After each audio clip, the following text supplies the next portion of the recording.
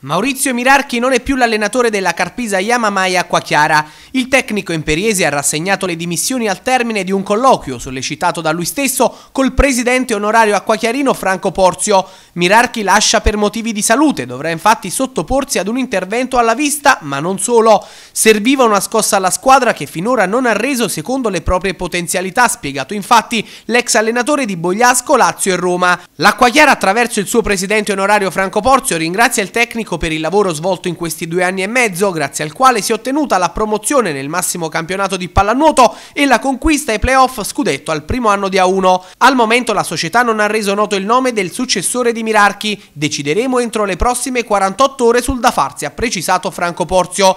Inevitabilmente scatta dunque il toto allenatore in casa biancazzurra ed iniziano a circolare già i primi nomi dei possibili candidati alla panchina biancazzurra.